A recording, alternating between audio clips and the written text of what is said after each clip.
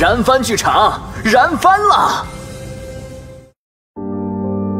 欢迎收听由喜马拉雅和阅文集团联合出品的有声剧《我绑架了时间线》，改编自起点中文网同名小说，作者一刀斩斩斩，由尹轩剧社倾情制作。欢迎订阅第五百六十四集。与林冉详细说明了计划内容之后，风七挂掉了电话。思索片刻，他拿起摆放在操控台桌面的领域学初级上册，开始翻看学习。林冉这边的舔狗线已经步入正轨了，他这边也不能落下。一年后的入学考试还在等待着他呢。领域学知识更是他往后获取情报的重要利器。身为牺牲线，就要为现实线的前进发光发热，创造价值。旁白曾经说过。牺牲不努力，现实徒伤悲。能源研究院，装饰简洁的办公室内，银玲穿着制式服装坐在办公桌前，翻看着今日的能源报告。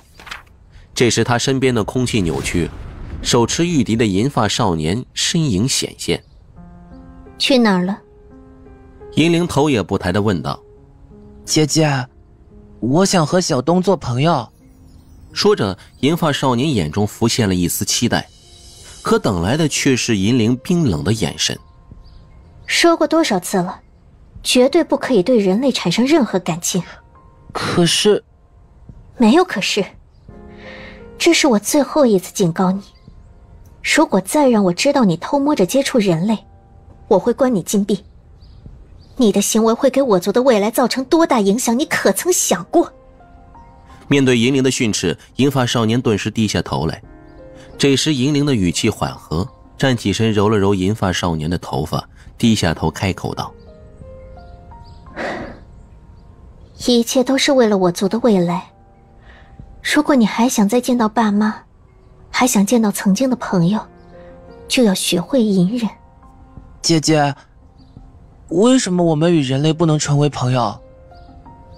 银发少年在这时抬头，目光直视银铃的眼眸，询问道：“我说过，我们想要的东西，人类不可能会给，只能抢。是什么？”少年追问道：“一个种族想要延续，就必须对外做到残忍。在资源有限的情况下，不可能做到合作共赢。”望着一脸思索的银发少年，银铃微笑道。最近有看人类历史书籍吗？有看。少年乖巧的点头。那你可知道，人类历史上如何才能让一个国家的人民都变得富裕？还有一个问题，如果全民都富裕了，那些最底层的工作又该由谁来做？少年听闻，迷茫的摇了摇头。很简单。那些富裕的国家会将最底层的工作交给其他国家的人来做，本质上，这也是一种变相的压迫。只有这样，才能做到本国全民富裕的同时，国家仍能正常运转。这个问题摆放在族与族之间也通用，且更加残酷。再举个例子，我们银月族掌控着好几座灵矿洞。里面产出的资源供应了我族的运转，但灵矿洞内充满各种混杂的能量辐射，长期待在地底矿洞内，身体肯定会落下一身病。但灵矿资源显然还得继续开采。为了不让族人承受这份痛苦，所以我们拥有了许多其他种族的奴隶。这就是现实。族内的压迫尚有良知。会有一系列的保护法等方式保护弱者，但种族与种族之间不存在任何相互遵守的规则，只存在你死我活的竞争。听了银铃的解释，少年张了张嘴，最后重重的点头。待弟弟离开，银铃坐在办公椅上，忍不住的叹气。弟弟的天赋极佳，甚至比他还优秀，唯独太过单纯了。这显然也与亲人的溺爱有关。对族与族之间的关系抱有期望，这莫过于是最愚蠢的想法了。这个想法如果不能得到更正，未来的他或许就会成为种族发展进程中的绊脚石。银月族与人类合作，再次想到这个问题，银铃哑然失笑。人类配吗？就在这时，电话铃声响起，接起电话来，凌然玩世不恭的声音传来：“灵啊，出来下棋，今天肯定赢你。”对于凌冉，银铃十分的有兴趣，他很想知道凌冉在术法天赋的上限在哪。况且他应该没几天好活了。想到这里，银铃当即开口道：“中午老地方见，早上我有工作需要处理。”好嘞。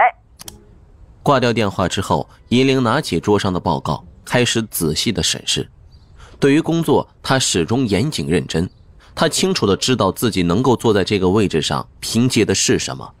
如果成绩不够优秀，星城最高议会完全有权利罢免他的职务。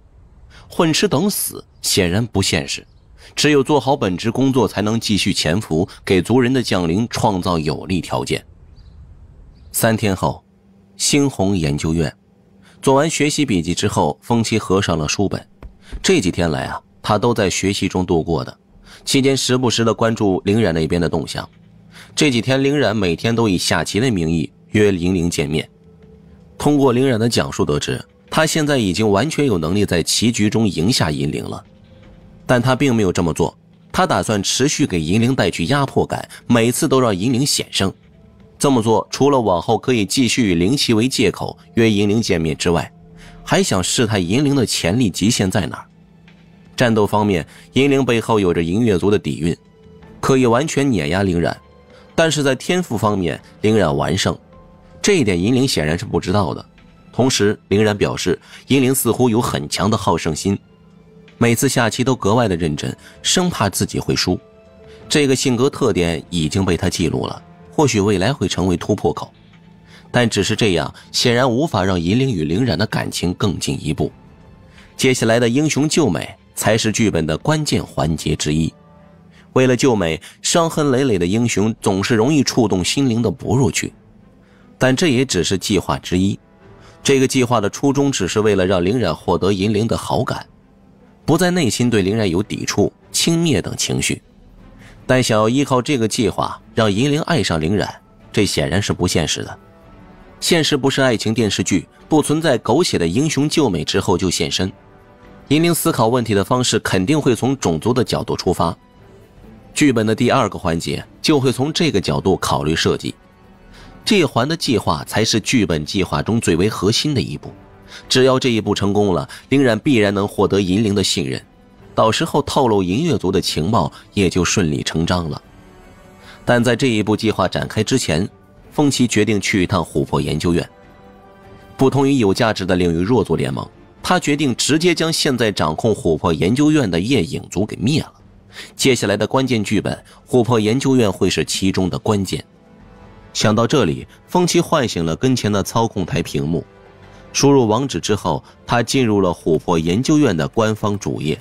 登录个人信息之后，他向琥珀研究院发送了参观的申请。这个申请将是他接触夜影族的敲门砖。至于琥珀研究院是否会同意，他丝毫不担心。夜影族渴望人才，按照上一条时间线的情况推算，他的申请很快就会被通过的。到时候他就可以顺势进入到其中，毕竟当初琥珀研究院可是特地来到星城学府向他抛出过橄榄枝的，希望他能够前往。现在想来啊，当时招募的背后其实是夜影族想要借此机会将他控制，试图利用他为夜影族的未来计划超级联合术法的设计添砖加瓦，让他变成精神奴隶。这次只要通过申请进入到琥珀研究院，接下来夜影族就会主动出现在他的面前，到时候解放琥珀研究院的行动也就可以展开了。有了前车之鉴，后面的剧情展开完全在他的掌握之中。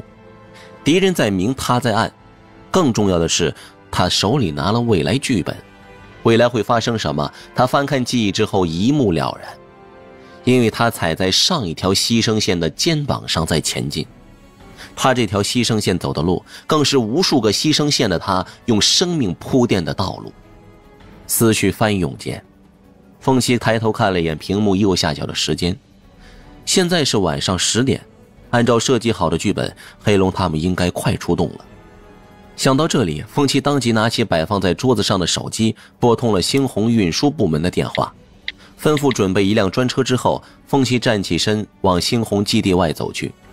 接下来，他决定前往凌然与银铃的约会地点，来个现场吃瓜。当然了，主要还是为了防止意外出现。